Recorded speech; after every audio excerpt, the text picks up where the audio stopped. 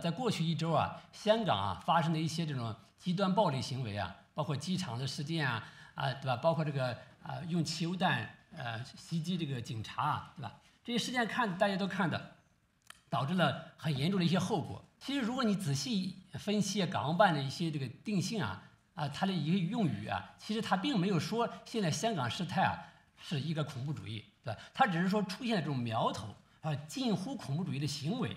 这个近乎哈或者苗头，它只是一个形容现在一个事态的一个严重性，就说它正在香港的这种暴力事件正在向这个过程过渡。如果你不采取法治的措施去惩治这些错这些法这些行为，去采取一定去遏制这些行为，它可能就会演化成真的恐怖主义行为。更多精彩尽在中国新闻网客户端。